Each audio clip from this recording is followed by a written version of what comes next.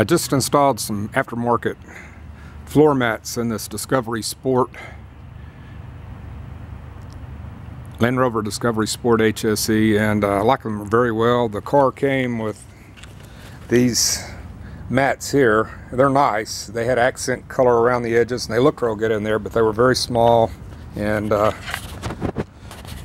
we got this vehicle with a trailer package. We plan on pulling our boat and we do a lot of fishing and have dogs and grandkids and all and the uh, mats are just really good. They're well cut. They, they fit precisely. 3W accessory mats. Uh, they're made specifically for this vehicle.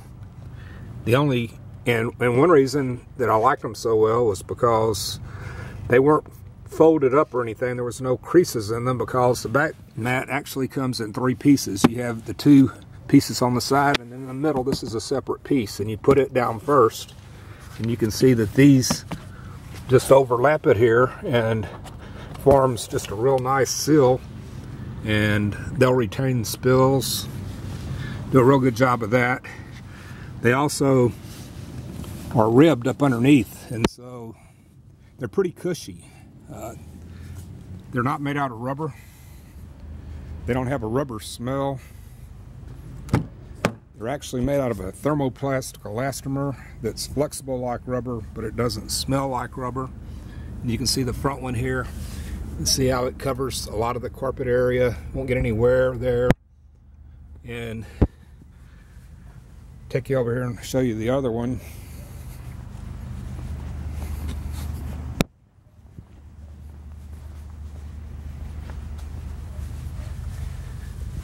This is the one on the passenger side and uh, I'll pull it back and let you see the back what I'm talking about them being ribbed.